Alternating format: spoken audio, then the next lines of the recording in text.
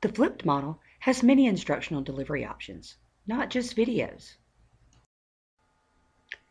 If you're not familiar with the flipped model, please pause the video and watch the YouTube video link below.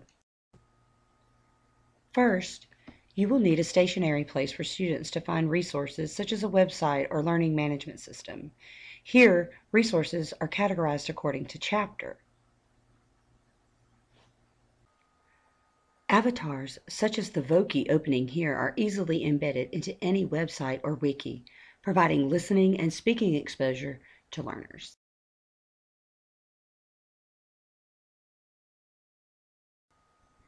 Instructional videos such as Senor Jordan model pronunciation, provide practice, and prior knowledge to build upon the next day in class.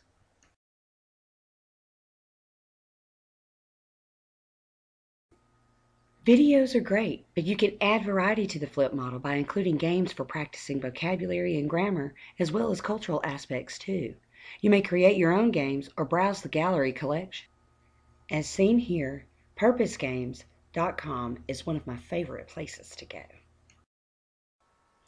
Here, you can create scavenger hunts using QR codes in four easy steps.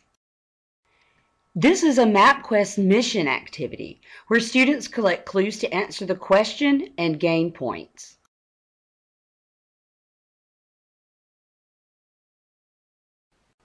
Although students like the gaming concept in general, the arcade experience is very stimulating and engaging to them.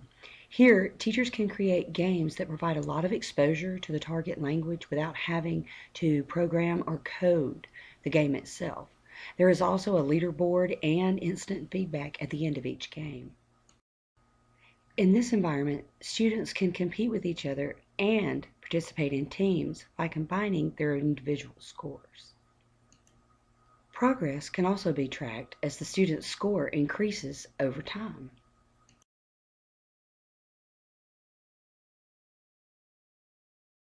With Sheppard Software Site, Students can learn about each country as well as its geographical location. Every time a student selects a country, a short vignette appears in the box in the lower left-hand corner. Interactive maps are a great way to incorporate geography and culture into the classroom. Often students are not familiar with which country speaks Spanish or any other language.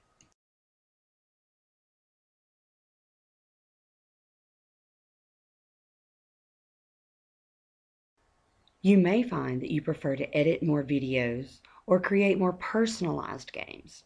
Educaplay is a free game generator in many formats, perfectly suited for the facilitation of language acquisition. The dialogue feature provides spoken language activities, and dictation provides listening and writing practice. A really unique feature is the video quiz, where you can post a video and embed questions intermittently. EduCanon is a website where you can create formative video assessment intermittently throughout a music video.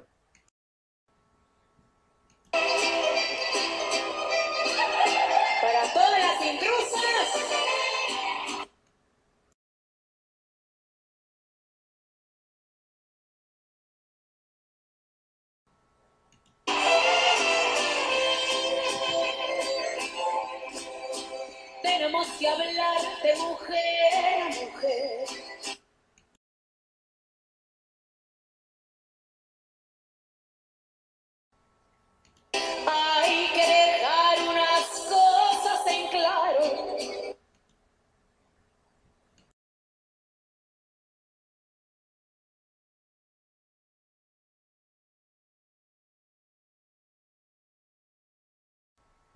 TestMoz is a great feedback tool for students to measure their own learning.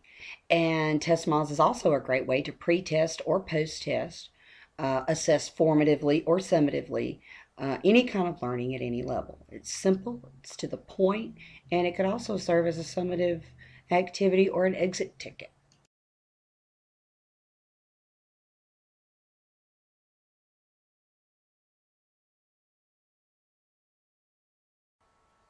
Google Forms, available on Google Drive, is an awesome way to assess online and auto check the answers. The instructions are available at the link at the bottom of the screen. Group work and collaboration are much easier with Google Drive as everything is online and accessible to all members.